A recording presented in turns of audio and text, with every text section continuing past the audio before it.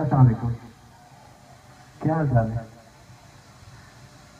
Television पे अच्छे programme produce होते हैं। मेरे ख्याल में आपके लिए उनमें से एक है।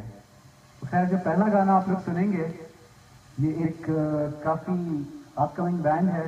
बहुत ही टैलेंटेड इस बैंड का नाम है माइलस्टोन आइए इनसे गाना सुनते हैं। Milestone